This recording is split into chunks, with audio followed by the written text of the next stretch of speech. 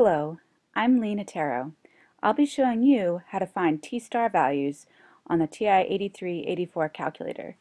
To do this, we'll hit second, then vars, notice above in blue it says distribution, and choose inverse T.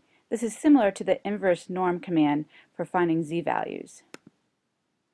The command structure is to enter the area to the left of the cutoff. So if we're talking about a 95% confidence interval, that means we have 2.5% in each tail of the distribution.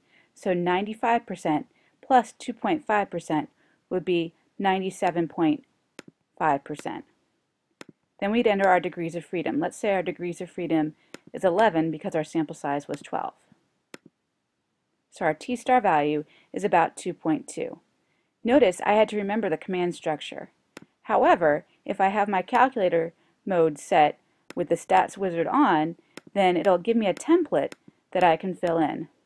To turn the stat wizard on, you'd hit mode, come here all the way to the very bottom, and choose on. Let's run that command again. Second, distribution, inverse t. Notice a template is here for us. I enter the area and the degrees of freedom and choose paste.